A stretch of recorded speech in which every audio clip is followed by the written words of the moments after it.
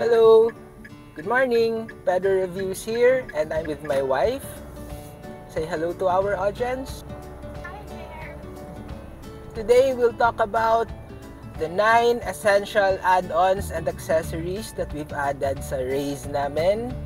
And while doing that, we will go grab our favorite cinnamon bun at Anipay.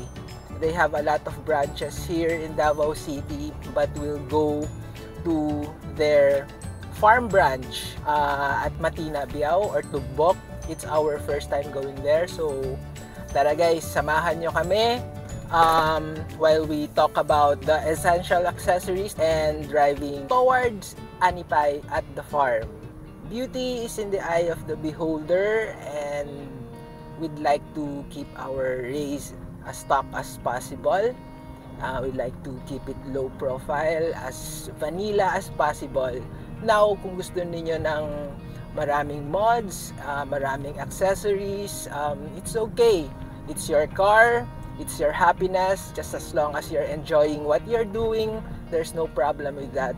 Pero sa amin, again, we'd like to keep it as plain as possible because we really appreciate the beauty of stock cars. So let's start our countdown. Yan. Number 9, Pet Essentials. My wife will tell you all about it. Hi guys. So I'm going to share to you number 9 on our countdown. So what we've added so far in our race are the pet essentials. As you all know, we are fur parents. We have two Labrador retrievers and we'd like to ensure that whenever they are traveling with us, they're um, comfortable and safe. So very important, especially when you're going on a long drive, is to make sure that their health certificates are with you. And additionally, it should be updated so you wouldn't have any problem whenever you go um, through borders or checkpoints or if you're thinking about going inter-island it's gonna be providing you a much hassle-free transaction to ferry your fur babies from island to island. So that's one um, if you're traveling uh, for long drives. And make sure that you also have um, extra sheets or mats. We usually do that because from time to time we'd go to the beach and we'd like our uh, fur babies to test out the water or try um, going or exploring um, beaches and sand. So it's um, good to have extra mats and sheets to keep them um, dry or to keep your race um, as clean as possible which is undoubtedly impo uh, impossible when you have fur babies but it's good to have uh, should you need those. So also, you should have your wipes, uh, wet wipes, and lint removers. Um, and we'd love to talk to you more about this nine pet, uh, this pet essentials accessories that we've added. And we're going to have another video to discuss more of that with you. So that's number nine, pet essentials, an additional accessory to our race. So number eight, uh, things to keep us warm and dry. Uh, we'd like to bring us uh, bring with us our hoodies extra shirt um, in case na ulanin tayo or in case na ma-stuck tayo somewhere it's best na prepared tayo.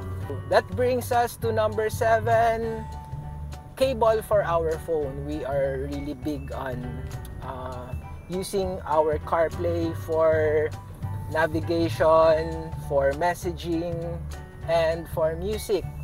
And that is very important for us to keep us hands-free, nakakoncentrate tayo sa manabela and sa road for safety. And number six, uh, cup extra cup holders and mini table. We really love our coffee and cup holder ng Raise. And it's best for cold drinks. But for coffee, it's a no-no kasi lalamig. So, we bought this um, third-party cup holder to have our coffee in place. Pero wife doesn't want it. Uh, she'd like to replace it. If you have comments, suggestions, and recomm- recommendations for another cup coffee fit for the Toyota race, please drop us a comment in the comment section down below.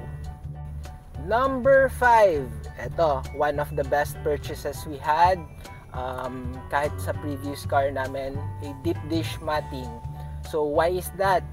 Uh, if you lalo na pag ikaw yung nag ano, naglilinis ng car mo, it's very easy to clean. You just have to um, wipe it down or pag madumi na masyado, taktakin lang. And again, wipe it. No need to vacuum. Uh, no need to hose it down. Wipe and install. That's fairly easy and that's very important for us. Alright, number four, dash cam.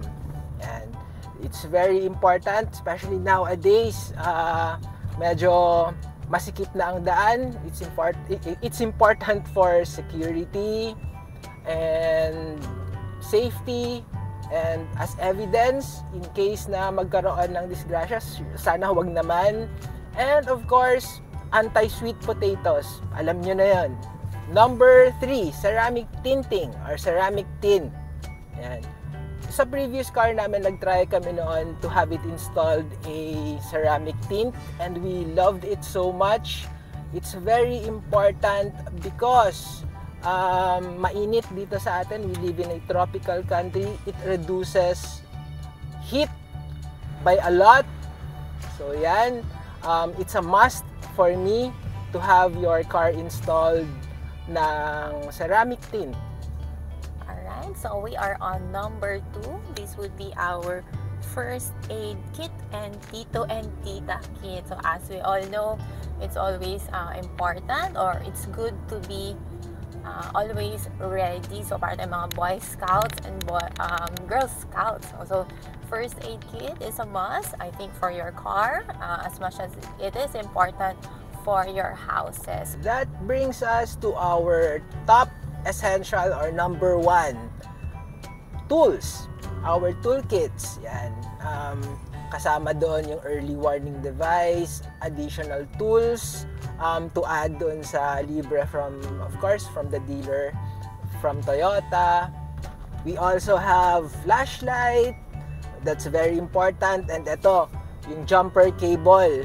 Kasi naka-CVT tayo or automatic, hindi na pwede yung tulak-tulak. So, I hope na hindi natin or hindi namin magamit, hindi natin magamit itong jumper cable. But it's um, best to err on the safe side and have it in hand para in case of emergency, pwede tayong makapag jump start pag namatayan tayo ng um, makina or battery. Right? Ano pa ba? Meron kaming rechargeable fan and light. That's very important. If in case na ma-stuck tayo, nasiraan somewhere liblib at mainit, at least um, there's something to cool us down. And I guess that's it. And we are near our destination. And guys, let's enjoy the view. And we're here. We've reached our destination, Anipay at the farm. Let's check it out.